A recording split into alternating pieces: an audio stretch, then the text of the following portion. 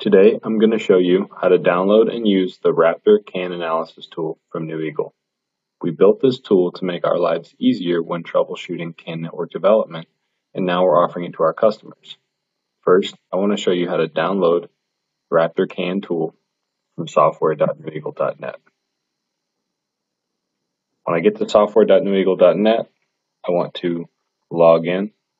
As you can see, I'm already logged in, and I will go to the OWL portion of the dropdown under Project. And then I can go to Downloads. And here is where I can find all of the revisions of OWL that I can download. On my test bench here, I have a VeeCAN 320 CAN display, which is sending some messages out onto my CAN bus. I'm using Kvaser Leaf Light CAN PC cable to connect my computer to the CAN bus. I also have a simulator of a Raptor VeeCAN 800 that I've developed for this video, which as you can see is connected to the CAN bus and acting on some of the signals. I want to open the Kvaser CAN King tool as well so that I can monitor some of the raw signals on the bus. I'm going to open the Raptor CAN Analysis tool next. You'll see that Raptor CAN has tabs for Monitor, Simulate, Analyze Logs, Replay Logs, and CAN Config, which is just used to make sure Raptor CAN is looking on the right bus. Going to start by clicking on the Monitor tab and then the Add DBC button. This is going to let me add the DBC to Raptor CAN.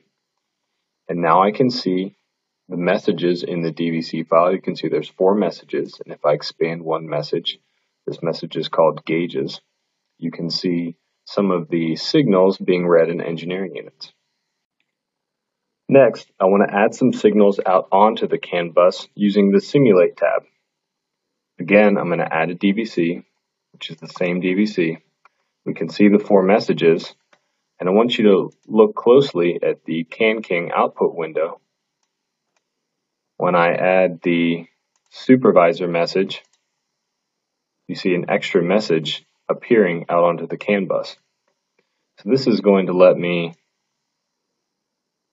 actually send messages out onto the bus and you can see it's affecting my display. Next, I'm going to use the Analyze Logs tab to convert a CAN King log, which is in hex, into engineering units. So first I want to add my DBC file again.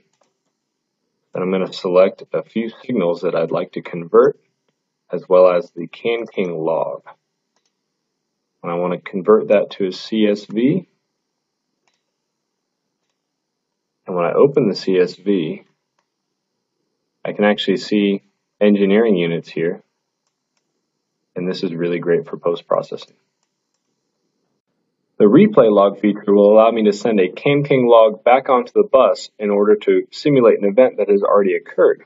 To do this, I select my log and I can hit play. Before I do that, notice that the display has stopped moving as I've unplugged my controller that's sending CAN messages. When I hit play, it's going to resume. As you can see, it's replaying an event that I've logged from earlier. That's it for this demonstration of the Raptor CAN Analysis tool. Please contact support at neweagle.net for any questions.